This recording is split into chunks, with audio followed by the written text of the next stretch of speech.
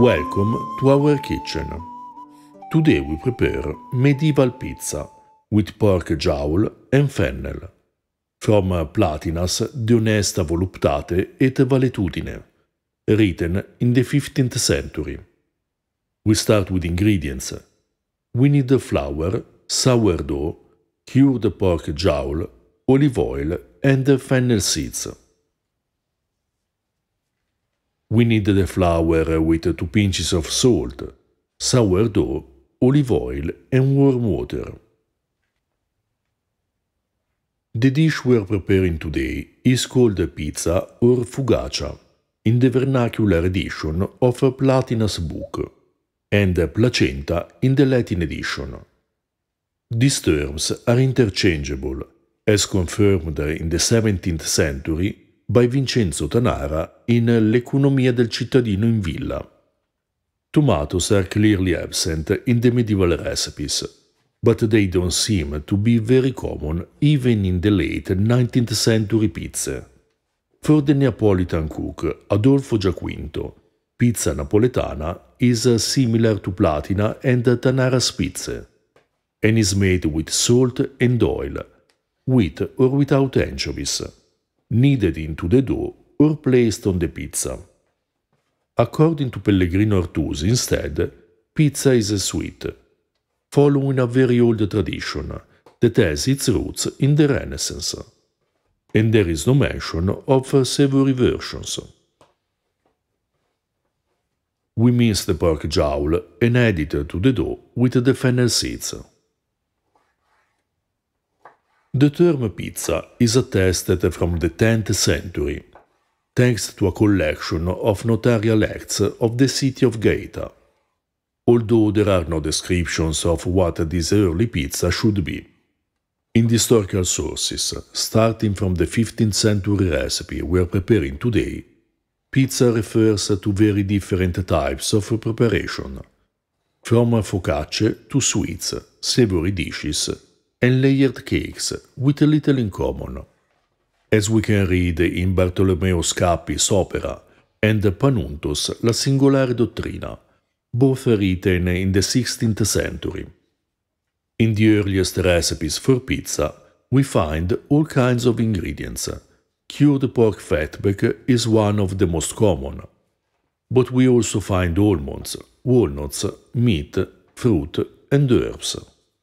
In the past, we prepared another medieval pizza with quails and cheese from Platina's book. You find the link in the description below. If you prefer, you can use olive oil without pork jowl, which replaced the pork fatback recommended in the original recipe. Or you can use butter instead, as suggested by Platina whereas Tanara writes to melt the cured pork fatback and remove the solid bits. Platina specifies to slice it and knead it directly into the dough. Fennel seeds are very popular in the preparation of medieval and Renaissance bread, as are anise seeds. Use the ones you prefer. This preparation can also be unleavened, According to Platina, there are versions with or without yeast. We used sourdough, but another possibility is to use fresh grape must, a common leavening agent from the antiquity to the end of the Renaissance.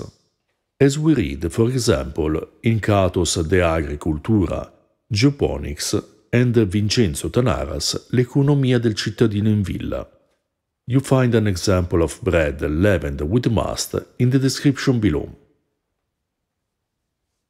We let the dough rise overnight, then we flatten it with our hands. Let it rest for half an hour and cook it in the oven for about 30 minutes.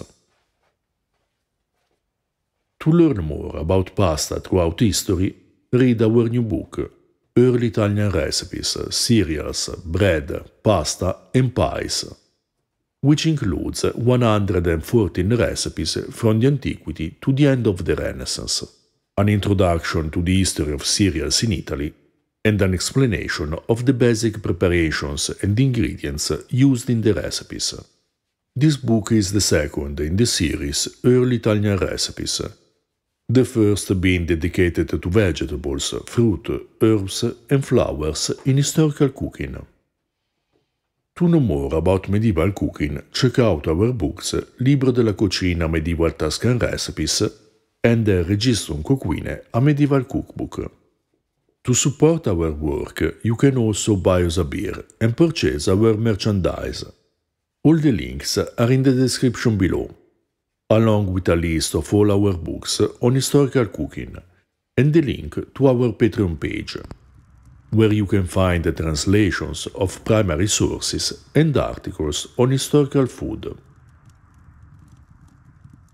This pizza was delicious, fragrant with cured pork jowl and fennel, that blended perfectly to create an excellent combination of flavors a great medieval dish, perfect to be eaten alone as a snack, or to accompany a salad or a soup, such as ope shoots, parsnip salad, or radish soup. You find the links to the videos in the description below. If you're interested in ancient foods and flavors, subscribe our channel and consider supporting us on Patreon.